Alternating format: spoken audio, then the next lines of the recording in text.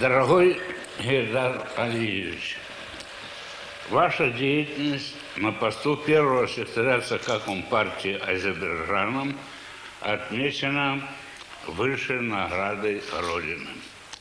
Вам присвоено звание Героя социалистического труда с вручением вам ордена Ленина и золотой медали «Серп и молот».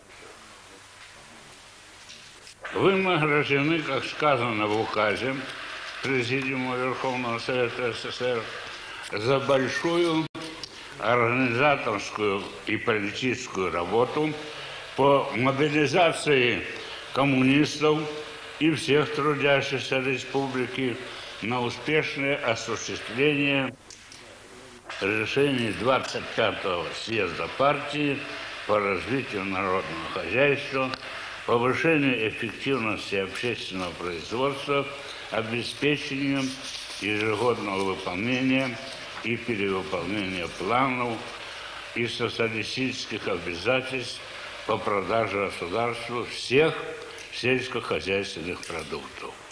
Уже сама эта формулировка говорит о том, что награда имеет большой и глубокий смысл.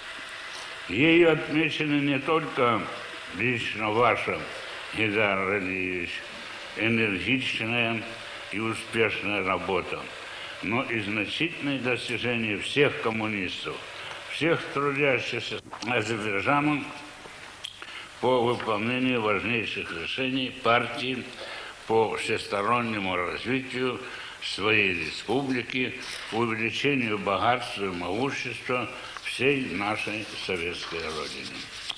Поэтому я думаю, что ваше награждение будет с удовлетворением воспринято всеми трудящимися Азербайджаном, как признание также и трудовых заслуг и успехов.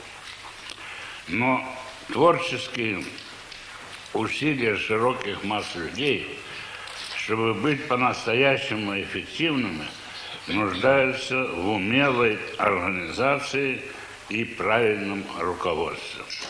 От руководителей, облеченных доверия партии народа, зависит многое и требуется много. Они должны уметь ясно и доходчиво довести до людей смысл стоящих перед ними задач и наилучшие пути их решения. Мы должны понимать нужды, чаяния и возможности людей. Должны быть способны зажечь их сердца сознанием величия и благородства целей, которые поставили перед собой партия Ленина и советский народ. Они должны иметь талант организатора, обладать необходимой настойчивостью и последовательностью, четкостью и требовательностью в работе. Можно с удовлетворением отметить, что вы, Гидар Алиевич, за 10 лет пребывания во главе ЦК Компартии Азербайджана убедительно проявили необходимые качества коммуниста-руководителя. Вы внесли большой вклад хорошие и устойчивые результаты, которых добились трудящиеся Азербайджаном, и немало делаете для устранения имеющихся недостатков для решения назревших больших задач. Отсюда и награда, заслуженная награда, Идар Алиевич.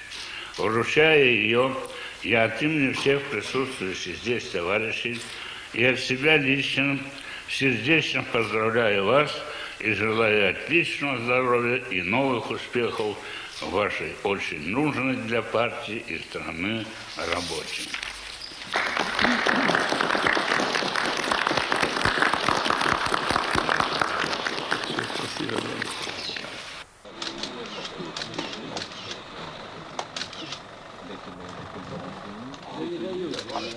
Дорогой Леонид Ильич, дорогие товарищи, чувством большой радости и глубокого волнения я принимаю орден, носящий имя великого Ленина, золотую медаль «Серб и молод, выражая безграничную благодарность и сердечную признательность за столь высокую оценку моего скромного труда, за высказанные вами, Леонид Ильич, теплые и душевные слова.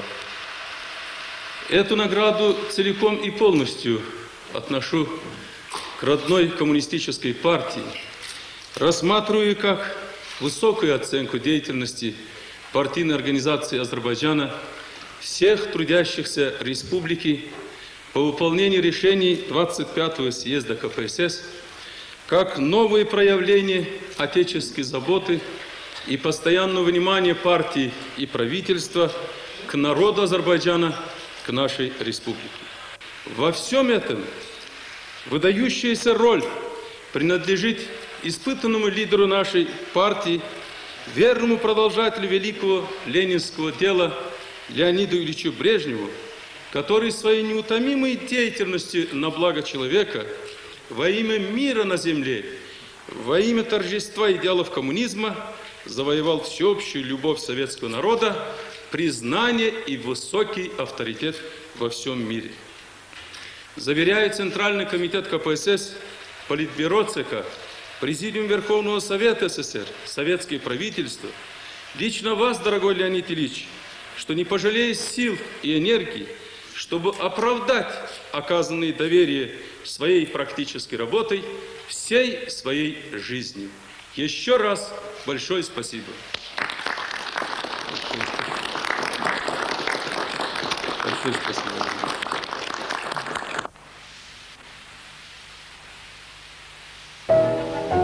Памир всегда славился высочайшими горными вершинами,